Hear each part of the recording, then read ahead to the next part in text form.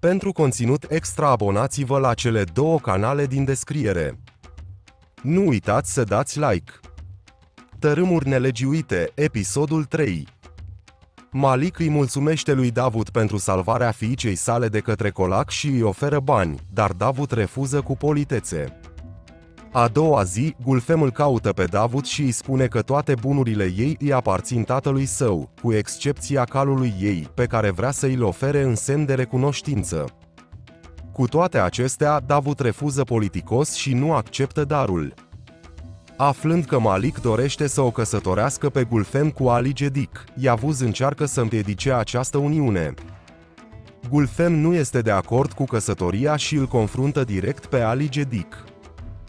Acesta, fiind provocat de prima femeie care îl respinge, decide să o ia de soție și îi spune lui Malik că vrea să facă logodna imediat. Gulfem află că Malik intenționează să evacueze familiile minierilor decedați în accident pentru a aduce noi angajați. Ea își exprimă îngrijorarea lui Davut și propune să ajute familiile. Cu fiecare întâlnire, relația dintre Gulfem și Davut se apropie tot mai mult, iar cei din jur observă că se simpatizează reciproc. Davut propune să ajute familiile cu chirie, dar Gulfem sugerează ca femeile să lucreze în mină pentru a-și păstra casele.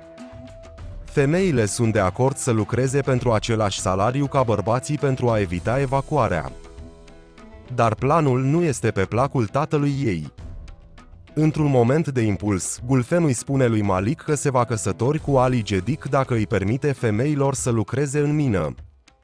După ce Davut devine maestru, încearcă să obțină o mărire de salariu pentru muncitori, dar Malik refuză și amenință cu concedierea.